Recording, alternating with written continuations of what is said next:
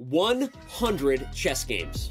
I'm going to say it again 100 chess games. It's one of the longest streaks ever without a loss, and that's how many battles Ding Liren went without defeat.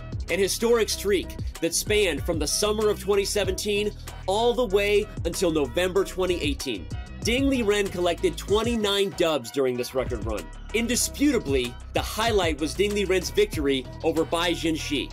If you haven't seen it, you might want to check it out, because it's considered by many to be one of the most brilliant chess masterpieces ever played. By the time Ding was through, his rating had surged to 2816. Last time I checked, that's good enough to sneak into the top 10 highest rated players in chess history.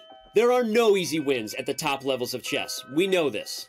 But Ding Liren is among the most challenging against to ever try to get a victory, and he has no plans to be checkmated in Kazakhstan.